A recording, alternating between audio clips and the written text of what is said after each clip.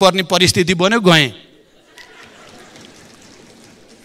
र मैले नेकपा एमालेको अध्यक्ष केपी ओलीजीलाई मैले आभार व्यक्त गरेको छु। तपाईँले मलाई प्रधानमन्त्री चाहिँ बनाउनु भयो मैले तपाईँलाई दुईचोटि प्रधानमन्त्री बनाएको थिएँ।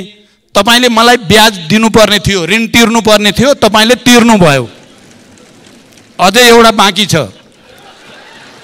एउटा त तिर्नुभयो एउटा अझै बाँकी छ हिसाब राख्नु होला बहुमत तपाईँहरूको पनि त्यता पुगेको छैन एमालेको नि बहुमत छैन। तपाईँ हामी मिल्ने हो भने यता बहुमत हुन्छ। आउनुहोस् बरु पाँचै वर्ष प्रधानमन्त्री खानुहोस् भन्नुभएको थियो। अहिले यहीँ हुनुहुन्छ। मैले यसो गर्नु उचित हुँदैन। प्रधानमन्त्रीको लागि मैले जनताको अगाडि गरेको कबुल र गरिएको सहमति तोड्न अहिले सक्दिनँ भनेर मैले रिजेक्ट गरेँ हो।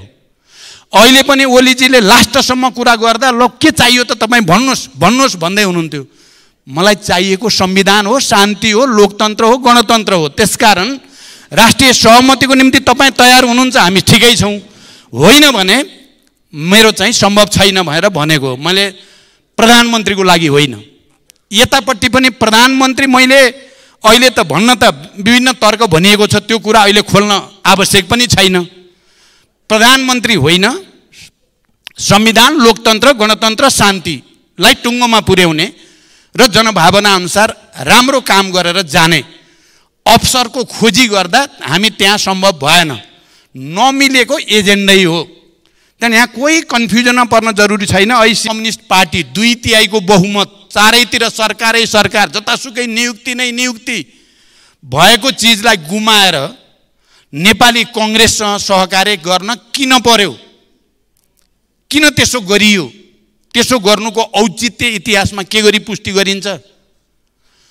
मैले सरल भाषामा बुझेको कुरा के हो भने संविधानको निम्ति लोकतन्त्रको निम्ति गणतन्त्रको निम्ति सङ्घीयताको निम्ति समावेशिताको निम्ति समानुपातिकताको निम्ति र शान्ति प्रक्रियाको निम्ति त्यसो गर्नुपर्ने बाध्यता आइलाग्यो।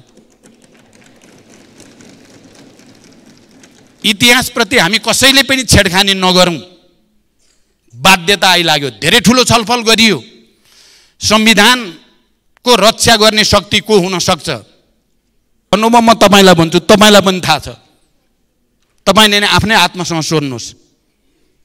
हामीले एउटा परिस्थितिमा पक्कै पनि म हुन त खोज्दै मलाई प्रधानमन्त्री बनाइदिन पर्यो भन्दै गएको त होइन। म एमालेका अध्यक्षज्यू र सबै नेता साथीहरूलाई पनि भन्न चाहन्छु म खोज्दै गएको चाहिँ होइन। तपाईँहरूले केही समयदेखि बल गर्दै हुनुहुन्छ आइदिए हुन्थ्यो भनेर। म चाहिँ यतै बल गर्दै थिएँ।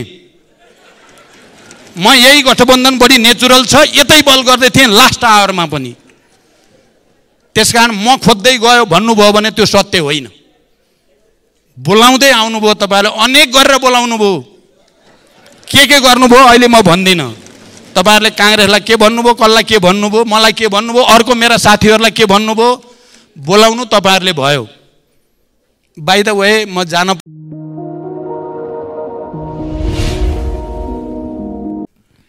सम्मान्य सभामुख महोदय आज हामी यो गरिमामय सदनमा प्रधानमन्त्रीको विश्वासको मतको सन्दर्भमा सहभागी भएर सबै दलहरूले आफ्नो तर्फबाट गम्भीर ढङ्गले नै आफ्ना विचारहरू राख्नु भएको छ। र विभिन्न खालका टिप्पणीहरू आलोचनाहरू समर्थनहरू सबै देखिएका छन्। सबभन्दा पहिला त म यो लोकतन्त्रको हामीले निर्माण गरेको मन्दिर भनौँ या केन्द्रीय संस्था भनौँ सार्वभौम संस्थामा गम्भीर ढङ्गले विचार विमर्श गर्ने आलोचना प्रति आलोचना गर्ने समर्थन विरोध गर्ने सबै मान्य सदस्यहरू जो सहभागी हुनुभयो म हार्दिक धन्यवाद भन्न चाहन्छु। जे जस्तो भए पनि हामीले सदनमा बसेर यो सार्वभौम संस्था मार्फत नै समस्याको निकास खोज्ने समाधान खोज्ने गम्भीर प्रयास गरेका छौँ। यो आफैमा लोकतन्त्रको अभ्यासको एउटा राम्रो उदाहरण हो भन्ने मलाई लाग्छ।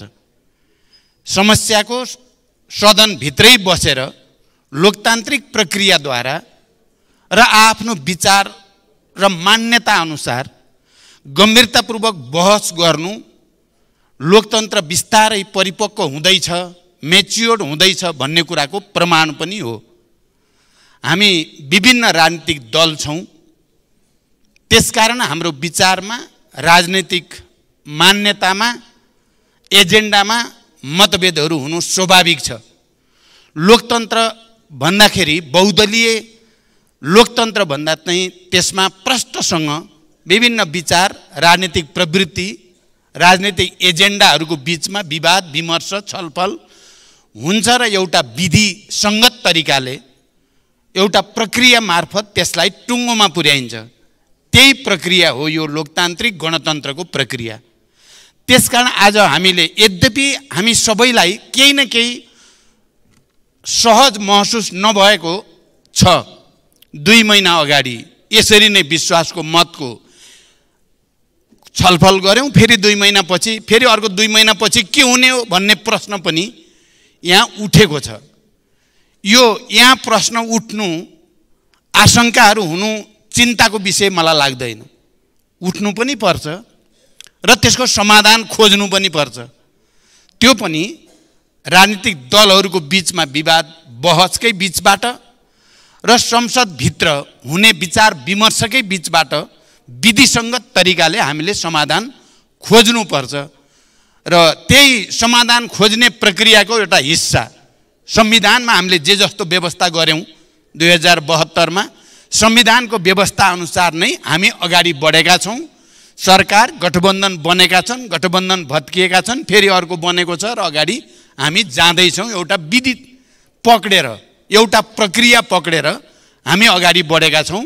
हामी अराजक ढङ्गले अगाडि बढेको भन्न मिल्दैन।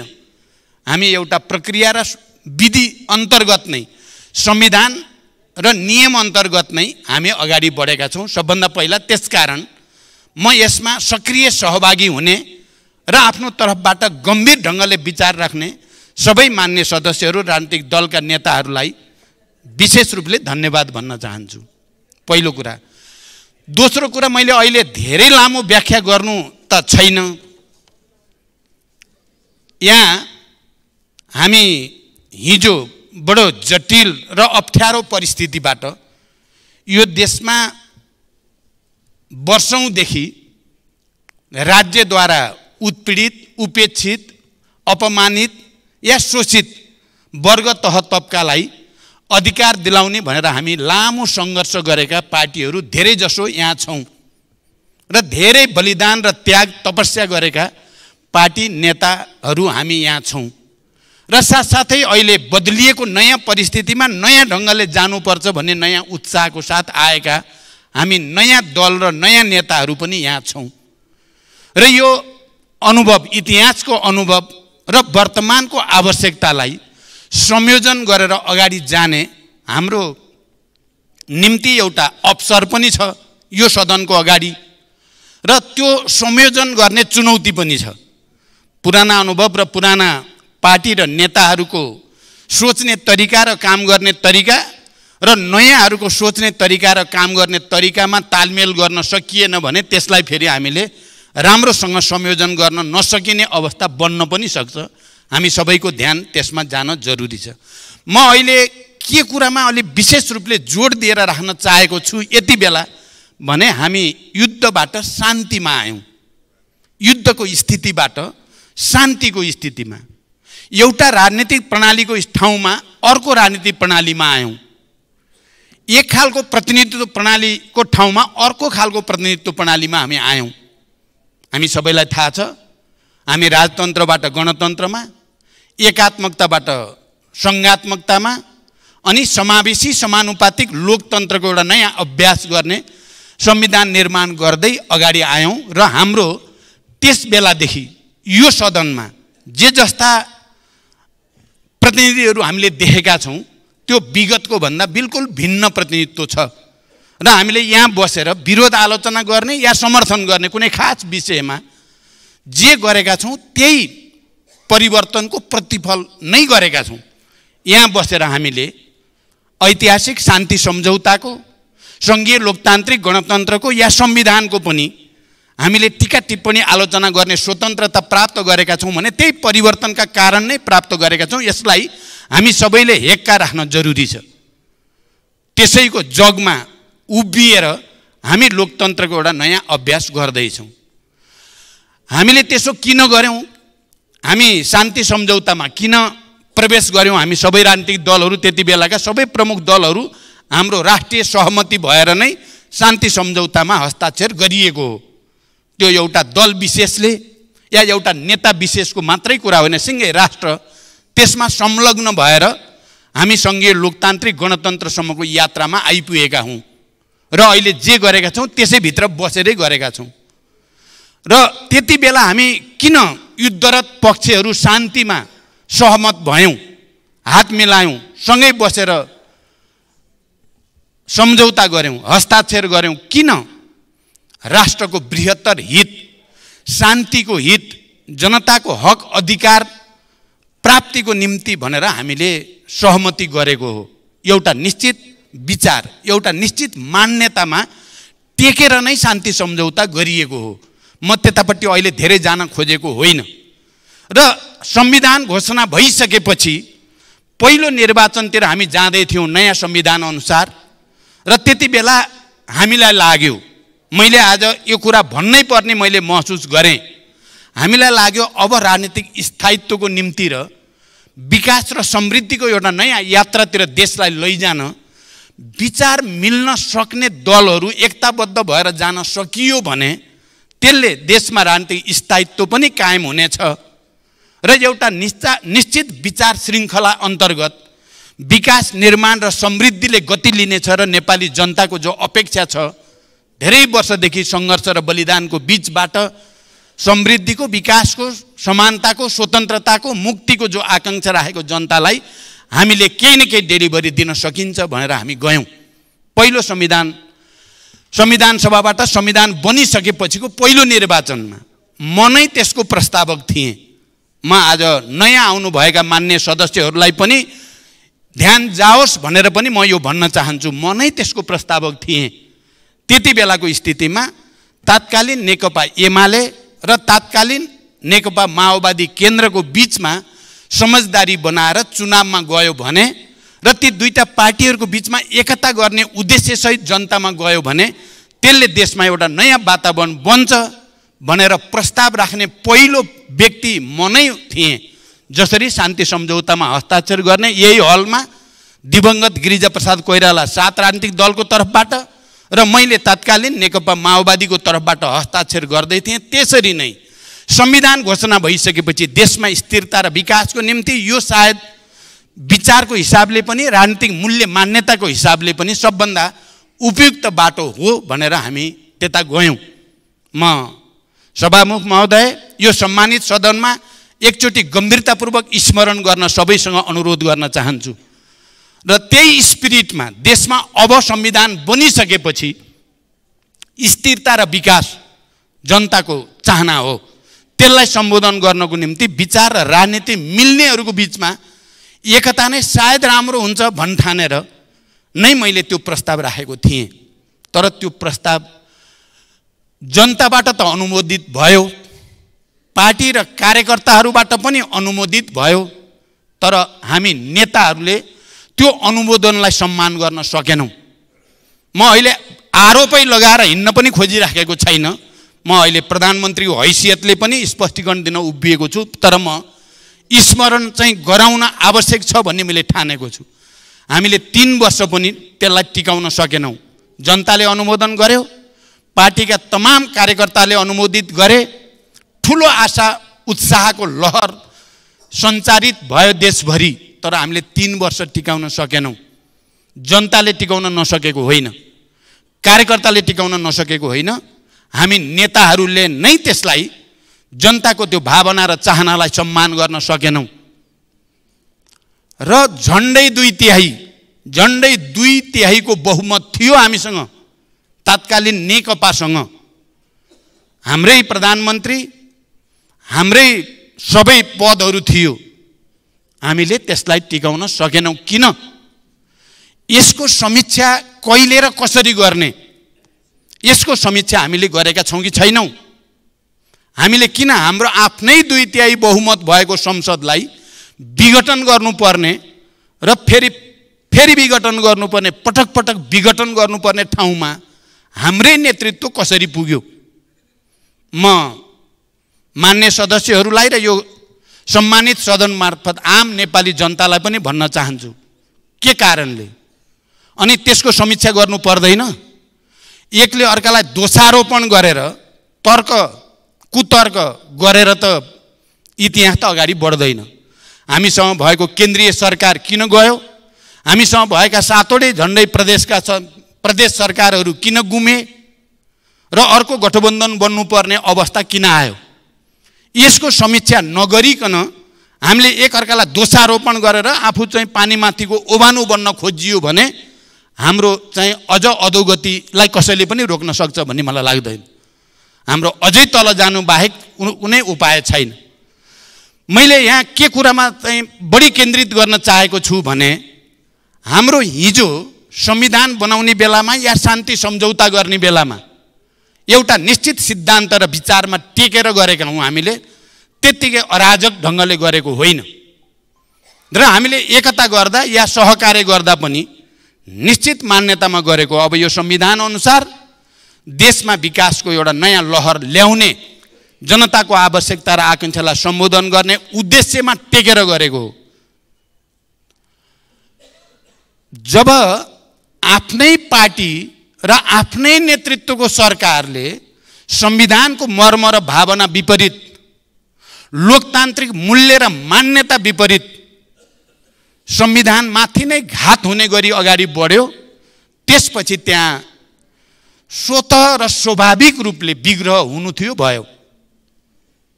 हामी सबैले एकचोटि मम भनेर छातीमा हात राखेर सोच्यौँ भने थाहा हुन्छ के कारणले त्यस्तो भयो।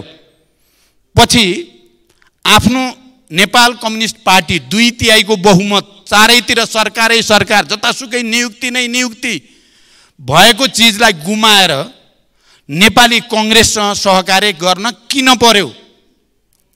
किन त्यसो गरियो? त्यसो गर्नुको औचित्य इतिहासमा के गरी पुष्टि गरिन्छ? मैले सरल भाषामा बुझेको कुरा के हो भने संविधानको निम्ति लोकतन्त्रको निम्ति गणतन्त्रको निम्ति सङ्घीयताको निम्ति समावेशिताको निम्ति समानुपातिकताको निम्ति र शान्ति प्रक्रियाको निम्ति त्यसो गर्नुपर्ने बाध्यता आइलाग्यो। इतिहासप्रति हामी कसैले पनि छेडखानी नगरौँ। बाध्यता आइलाग्यो धेरै ठुलो छलफल गरियो। संविधानको रक्षा गर्ने शक्ति को हुन सक्छ? गणतन्त्रको।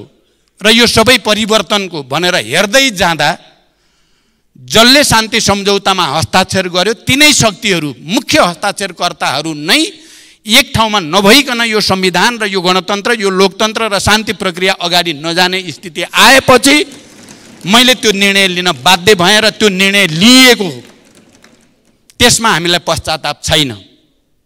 मलाई लाग्छ साथीहरूले गम्भीर आत्मसमीक्षा गर्न जरुरी छ। यहाँ मञ्चमा आएर तर्क गरेर तर्कद्वारा चाहिँ कालोलाई सेतो सेतोलाई कालो बनाउने कोसिस गरेर केही हुनेवाला छैन। हेर्नु आफैतिर पर्छ। मान्य विष्णु पौडेलले यहाँ भन्नुभयो प्रधानमन्त्रीलाई थाहा छ आफैलाई सोध्नुहोस्। म भन्छु अर्थमन्त्री हुनुहुन्थ्यो तपाईँलाई थाहा छ तपाईँ आफैभित्र हेर्नुहोस्। किन यस्तो भयो भन्ने कुराको तपाईँलाई पनि थाहा छ।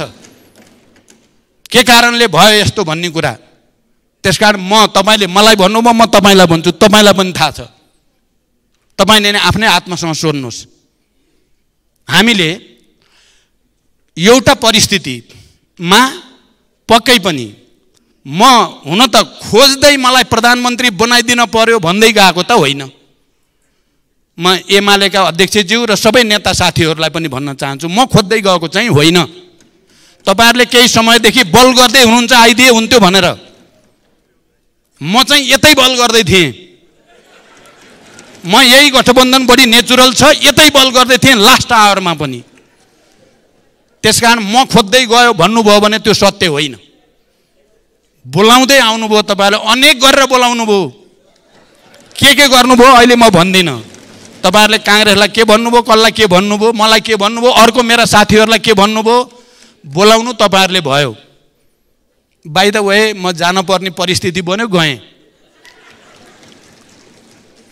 र मैले नेकपा एमालेको अध्यक्ष केपी ओलीजीलाई मैले आभार व्यक्त गरेको छु। तपाईँले मलाई प्रधानमन्त्री चाहिँ बनाउनु भयो मैले तपाईँलाई दुईचोटि प्रधानमन्त्री बनाएको थिएँ। तपाईँले मलाई ब्याज दिनुपर्ने थियो ऋण तिर्नुपर्ने थियो तपाईँले तिर्नुभयो। अझै एउटा बाँकी छ। एउटा त तिर्नुभयो एउटा अझै बाँकी छ हिसाब राख्नु होला तर दुई महिनामै यस्तो किन भयो भन्ने कुराको पनि मेरो सोझो उत्तर छ। त्यहाँ कुनै घुम घुमाउ छैन।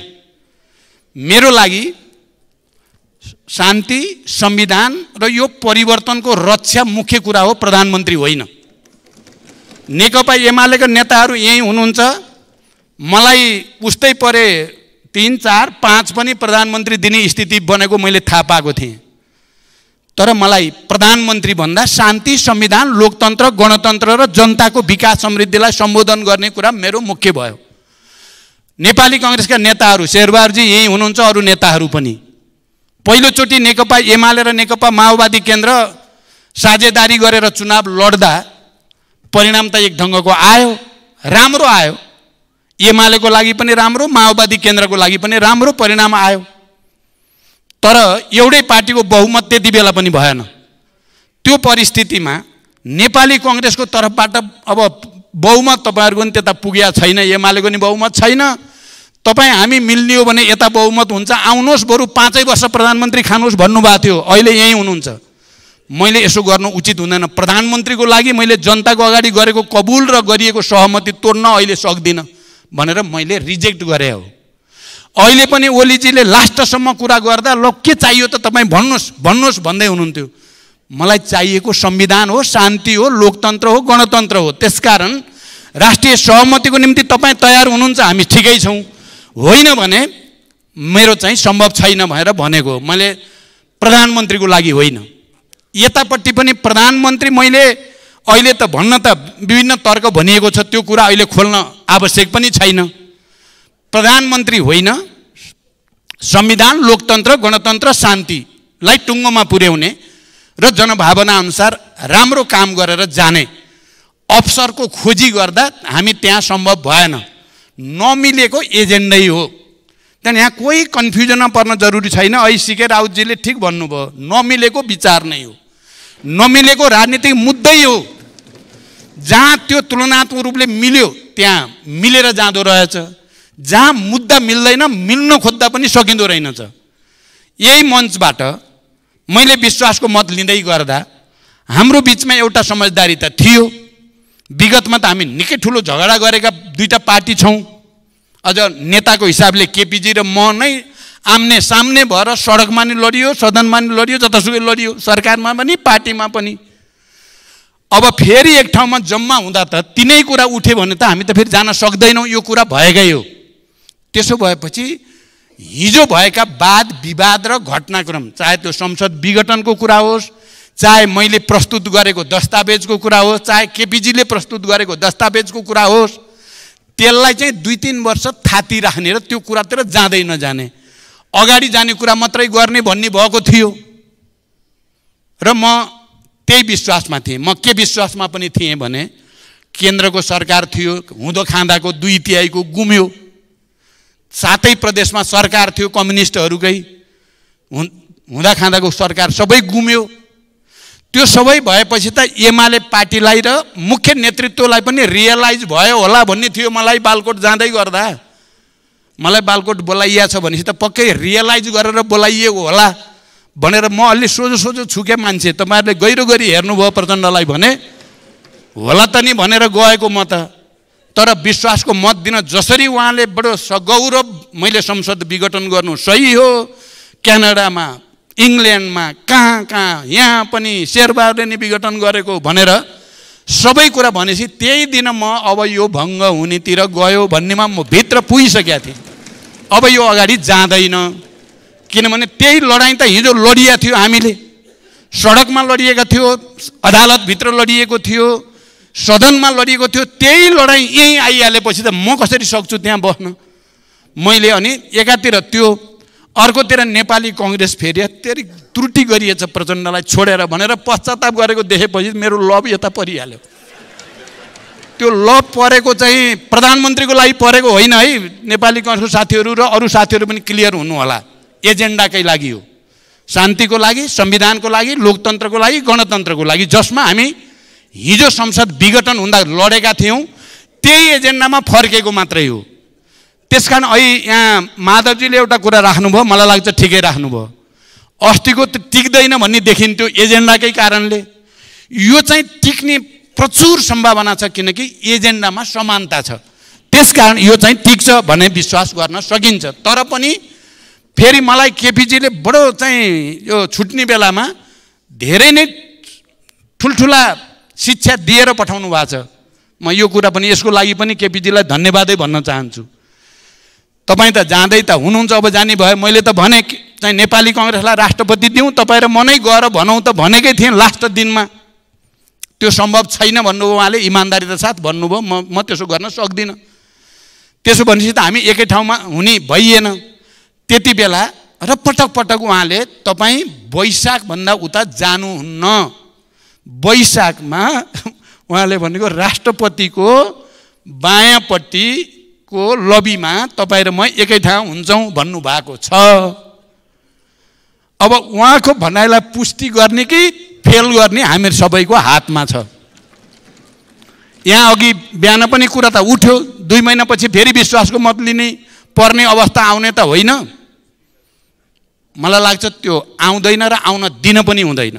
लोकतन्त्रको लागि गणतन्त्रको लागि संविधानको लागि शान्तिको लागि।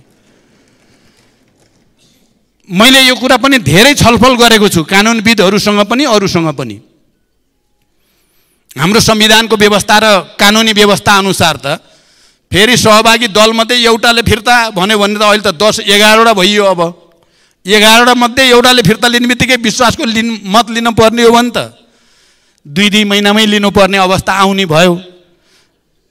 तर तर मैले बुझ्दा चाहिँ त्यस्तो हुँदैन। अहिले कम्तीमा पनि आज हामीले जसरी विश्वासको मत लिएका छौँ अस्ति हामीले बालकोटबाट हस्ताक्षर गरेर राष्ट्रपति कहाँ बुझाए जस्तो गरी गरेका छैनौँ। सिधै हामी यहाँ विश्वासको मतमा छलफल गरेका छौँ र निर्णय गर्दैछौँ। नम्बर एक। नम्बर दुई त्यहाँ बहुमत छ कि छैन भन्ने कुरा मुख्य हुन्छ। सदन केपिजी नै प्रधानमन्त्री हुँदा पनि जति बेलासम्म सदनमा बहुमत छ भन्ने लाग्दासम्म विश्वासको मततिर जाने कुरा आएन पनि। तर सदनमा बहुमत छैन भनेपछि त विश्वासको मतमा जानुपर्ने बाध्यता आउँछ संवैधानिक बाध्यता। सायद त्यो स्थिति हुँदैन भन्ने मलाई लाग्छ। त्यसकारण मान्य सदस्यहरू तपाईँहरूले सुशासनको बारेमा विकासको बारेमा भ्रष्टाचार नियन्त्रण गर्ने बारेमा र देशलाई अहिलेको आर्थिक सङ्कटको स्थितिबाट मुक्त गर्ने कुरामा अनि शिक्षा स्वास्थ्य रोजगारी खाद्य सम्प्रभुता जस्ता विषयहरूमा हामीले नयाँ सिराबाट अगाडि बढाउने सन्दर्भमा पहिले विश्वासको मत लिँदा मैले यो सम्मानित सदनमा जे विषय राखेको थिएँ ती विषयप्रति मेरो कमिटमेन्ट अहिले पनि त्यही उत्साहको साथ त्यही गम्भीरताको साथ कायम रहेको छ र मैले यो बिचमा जे प्रयास सुरु गरेको थिएँ त्यसले केही सकारात्मक सङ्केतहरू पनि छन्। अब सरकारले पूर्णता पाउने बित्तिकै फेरि हामी एउटा नयाँ गतिको साथ जानेछौँ। आज तपाईँहरूले यहाँ प्रस्तुत गर्नुभएका विषयहरू आलोचनाहरू टिप्पणीहरू सबैलाई मैले गम्भीरतापूर्वक सुनेको छु र गम्भीरतापूर्वक लिनेछु भन्ने प्रतिबद्धता व्यक्त गर्दै फेरि पनि सहभागी सबैलाई धन्यवाद भन्दै बिदा हुन्छु। धन्यवाद।